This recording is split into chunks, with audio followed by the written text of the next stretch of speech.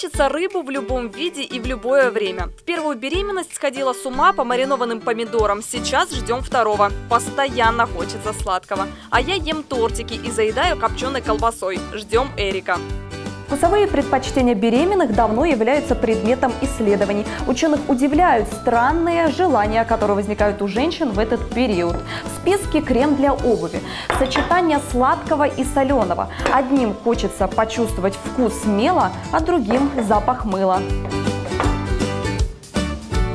Во всем виноват гормон прогестерон. Именно он определяет норму или недостаток полезных веществ. В случае дефицита последних возникает желание съесть несъедобное. Относиться к этому нужно спокойно. И, конечно, не нужно употреблять что-то несъедобное или бросаться на те продукты, которые раньше не употреблял. Основной совет во время беременности – продолжать питание сбалансированное в том же режиме, в котором женщина жила всю жизнь и в небеременном состоянии. Алие Алич воспитывает трехлетнего Арслана. Период беременности вспоминает с особым трепетом. Вкусовых изменений девушка отметить не может, хотя странные эпизоды тоже случались. Мы как-то ехали домой с мужем, уже была осень, да, в конец августа, начало сентября. Мы едем, я мужу говорю, ты знаешь, мне так хочется понюхать сток сена, вот прям вот до жути, аж, знаешь, есть выражение, зубы чешутся. Вот так хотелось мне вот именно сток сена.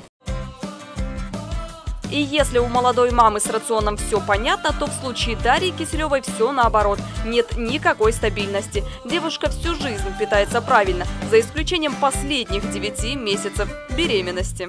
Во-первых, больше принимаешь пищи, а во-вторых, тебе может внезапно захотеться чего-то такого остренького, солененького. Я вставала посреди ночи, и мне хотелось прям чего-то съесть.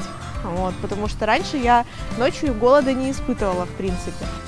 Резкое желание ощутить запах мокрого асфальта, металла, резины или почувствовать вкус сырых продуктов объяснить легко. Все дело в нехватке определенных витаминов. Меню беременной должно быть сбалансированным и разнообразным мы живем вместе с природой, поэтому очень хорошо придерживаться сезонности. И если это зима и вот начало весны, то пока еще не стоит есть помидоры и огурцы, они еще пластмассовые просто. Стоит, например, отдать предпочтение ферментированным продуктам. Плюс цельные крупы, бобовые, хороший белок хорошего качества. Это нежирное мясо, рыба и, собственно, могут быть нежирные сыры.